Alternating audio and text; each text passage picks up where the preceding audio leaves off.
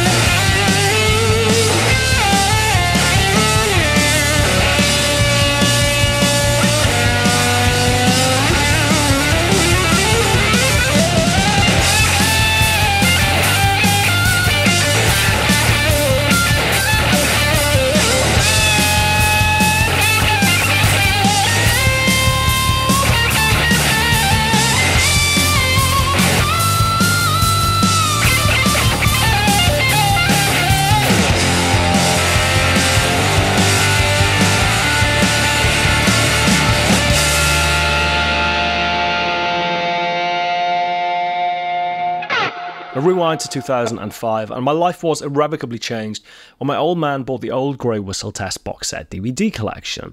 I'd not long started playing guitar at that point, and as much as I'd been voraciously devouring my dad's record collection, those DVDs introduced me to a world of artists and bands and musicians that, crucially, not only had I not heard, but had never actually seen before.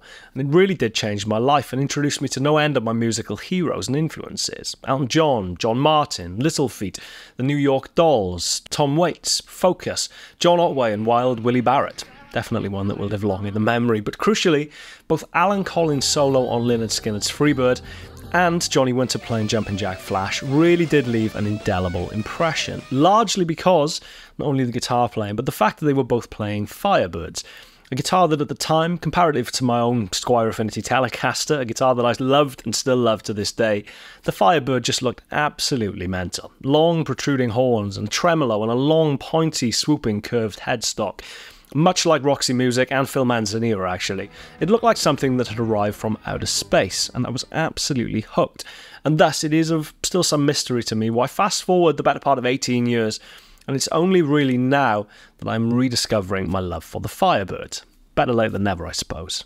Introduced in 1963, largely in response to Gibson losing ground to Fender, the new Californian upstarts. That's a very common theme for Gibson throughout the 50s and 60s, and you can pretty much trace any Gibson solid body design in this era to them chasing Fender. The Firebird undoubtedly paid homage to an earlier Gibson design in the Explorer, which was so wildly unsuccessful in its time that it's estimated that only 22 were actually made. Thankfully, the Firebird didn't suffer quite the same fate. Designed by famed coach builder Ray Dietrich, after a chance meeting between him and Ted McCarty, Ray having recently retired to Kalamazoo, Michigan, of course, where Gibson were based, and Ted seeing him give a talk on his life in car design. The Firebird was introduced in four increasingly well appointed guises the 1, the 3, the 5, and the 7. The Firebird 1, retailing at $189.50, came with a single pickup, an unbound fingerboard, wraparound tailpiece, enclosed banjo style tuners, and dot inlays. Meanwhile, the Firebird 3, retailing at $249.50, came with two pickups, a bound fingerboard, and a Gibson Vibrola. The Firebird 5, retailing at $325, came with a Tune-o-matic bridge and a deluxe vibrola, as well as Gibson's usual trapezoid pearl inlays, while the 7, then Gibson's most expensive solid body guitar, retailed at $445, coming with an ebony fingerboard, gold plated hardware, and three pickups, with the accompanying case setting you back $46, which means that a Firebird 7 with case in today's money would set you back roughly $5,000. As many people have pointed out over the years, Gibson guitars have never been cheap.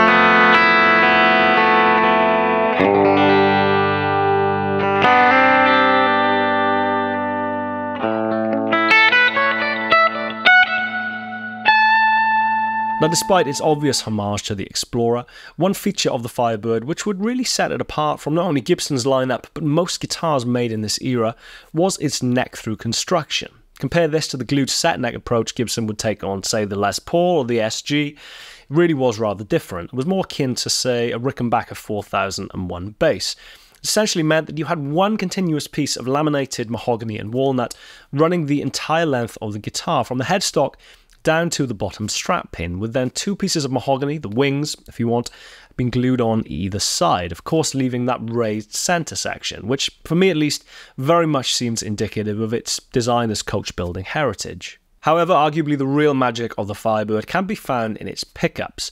Consistently confused with mini humbuckers, mini humbuckers, of course, having been an Epiphone design originally that would become largely associated with the Les Paul Deluxe in later years, Firebird pickups, by comparison, are exactly that Firebird pickups. Mini humbuckers use a single bar magnet that sits below and between the coils. The magnet touches each of these posts and creates an opposite magnetic field, giving that humbucking effect. But by comparison, Firebird pickup uses two rail-style magnets, one each in the center of the bobbin, around which the coils are wound, yielding a very different magnetic field. And because fewer wires can be put around the rails, they also traditionally have a lower output, meaning that they tend to sound much brighter. In much the same way as those original PAF humbucking pickups that Gibson introduced in 1957, Firebird pickups are not wax potted, leading to the reputation that at high levels of gain, or indeed high volume, they can become a little bit squealy. Now, it'd be remiss of me at this point talking about Firebird pickups, not to mention arguably the most famous Firebird pickup, which, somewhat ironically, resides in a Les Paul. Specifically, Neil Young's Old Black, his 1953 Les Paul. So the story goes that whilst out on tour, the original Bridge P90 in that guitar died a death, and the closest thing that they could approximate to a replacement whilst out on the road was a Firebird pickup, and thus the rest is history. To highlight the differences between Firebird pickups, mini humbuckers, and PAF humbuckers, going to do a quick comparison using this 1965 Firebird, very kindly on loan for today's video from my good mate Ed, against a 1971 Les Paul Deluxe that I borrowed from Vintage and Rare Guitars in Bath in the UK last year, as well as my Panucci Gold Top with more typical humbucking pickups. Now, apologies, the clips were recorded the better part of a year apart, so if there are any discrepancies in the playing, that may account for it. But crucially, did use exactly the same recording setup and match the gain levels, and even more importantly, don the same jumper, which I hope would go some way towards matching the tone. This is how they sound.